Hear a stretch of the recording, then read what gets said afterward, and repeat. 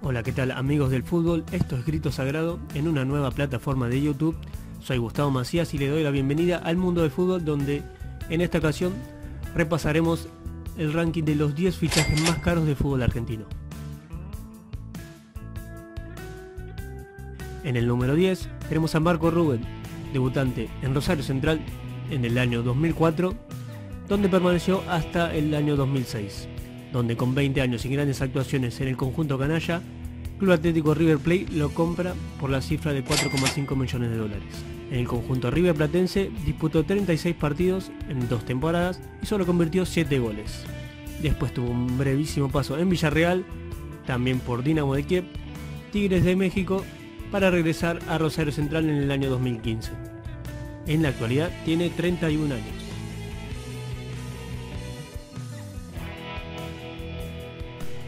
En la posición número 9 tenemos a Marcelo Negro Gómez, un volante de contención que se destacó en el Vélez multicampeón de los años 90, donde cosechó la cifra de 8 títulos.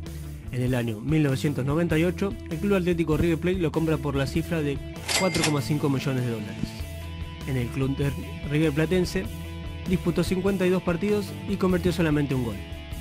En la actualidad tiene 47 años y es ayudante de campo del equipo de reserva en Vélez Arfield.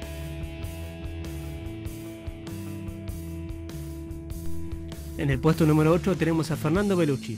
Debutó en Newell's Old de Rosario en el año 2002, donde obtuvo el Apertura 2004 para dos años después, en 2006, dirigirse a las filas del Club Atlético River Plate, por la cifra de 4,6 millones de dólares. Con grandes actuaciones y bastantes goles en su haber, convirtió en total 13 goles en 62 partidos, para luego emigrar al fútbol exterior y retornar al fútbol argentino en 2016, donde para San Lorenzo Almagro y hasta la actualidad sigue conformando la plantilla azulgrana. En el puesto número 7 tenemos a Gonzalo Piti Martínez. Con 24 años, este mendocino debutó en Huracán en 2011. Un enganche zurdo, ganó la Copa Argentina con el Globo en el año 2014. Esto le valió para que en 2015 en el verano, River pusiera sus ojos en él y lo adquiriera por la cifra de 4,7 millones de dólares. Esos tres años en Núñez, disputó 137 partidos y convirtió 25 goles. Ha sido criticado por varios sectores de la hinchada de River Platense por no ser un jugador demasiado regular, aunque es de los más desequilibrantes del conjunto de Marcelo Gallardo. En el puesto número 6 tenemos a Darío Benedetto, debutó en Arsenal en el año 2008. Pasó por Defensa y Justicia, Gimnasia Jujuy, Tijuana y América de México para en 2016 ponerse la camiseta de Boca, quien pagó 5 millones de dólares por sus servicios.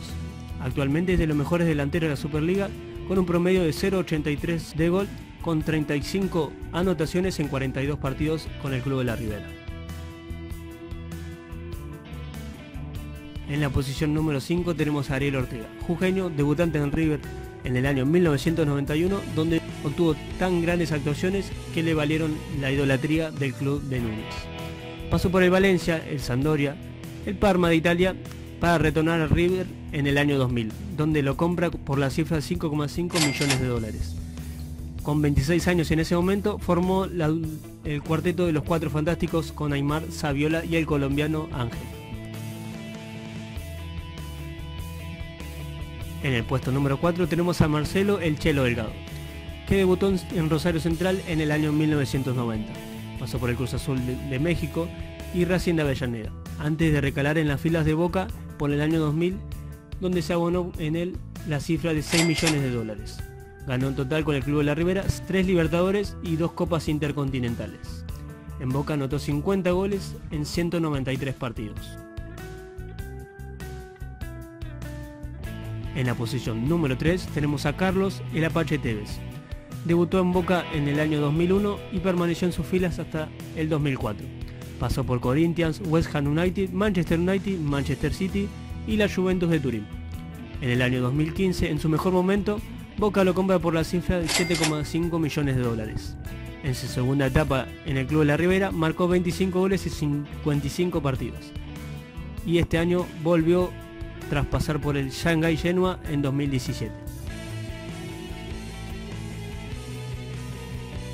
En el puesto número 2 tenemos a Lucas Prato. El oso debutó en Tigre en 2007. Pasó por muchos clubes argentinos y hasta estuvo con un breve paso por Boca Juniors. En 2018 fue comprado por el Club Atlético River Plate por la cifra de 13 millones de dólares. En San Pablo jugó 48 partidos e hizo 14 goles. El delantero es por quien se realizó este top.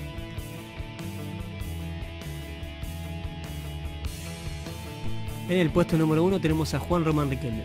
El máximo ídolo de Boca Juniors debutó en las filas del conjunto de la Ribera en el año 1996. Permaneció en sus filas hasta el 2002 cuando emigró al fútbol español para recaer en el Barcelona, donde permaneció solamente un año hasta 2003, donde su siguiente destino sería el conjunto submarino amarillo Villarreal, donde permaneció hasta 2006 y se vio lo mejor de JRR en el fútbol exterior.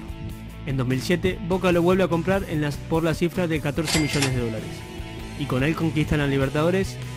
En sus tres etapas en el club boquense disputó 388 partidos y convirtió 92 goles.